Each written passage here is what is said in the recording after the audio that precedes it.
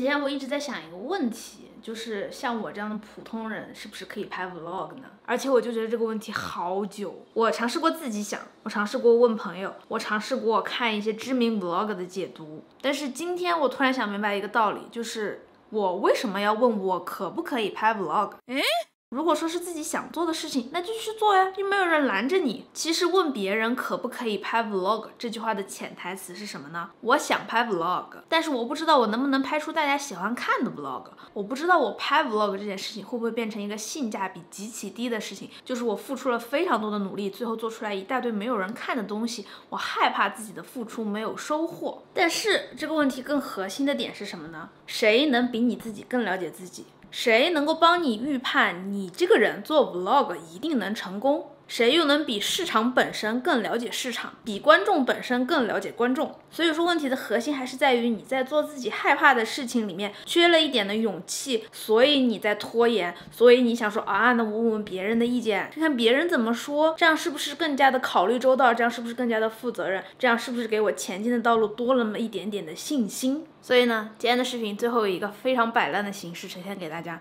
没有任何特效，没有任何 BGM，没有任何的 fancy 高大上的东西。为什么最后我选择这么质朴的一种形式呢？因为我觉得我花了太多的时间去想，哎，我要以什么样的桥段、什么样的素材、什么样的引人入胜的方式，但是这些其实都是一种拖延。最重要的是，你想要分享的内容，做就完了，想那么多干什么？